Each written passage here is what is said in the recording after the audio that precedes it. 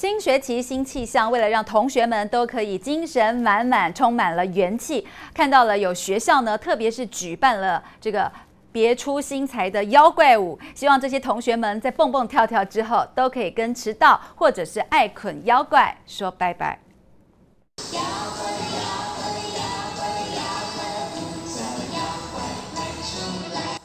手，扭扭腰，就怕小学生放了好长的暑假后会罹患开学症候群，心情不准。龙山国小校方和义工爷爷奶奶们自创了这套妖怪操，帮孩子们收心。感觉不会就像 在家里一样，这只是睡觉而已。有运动到。对，昨天好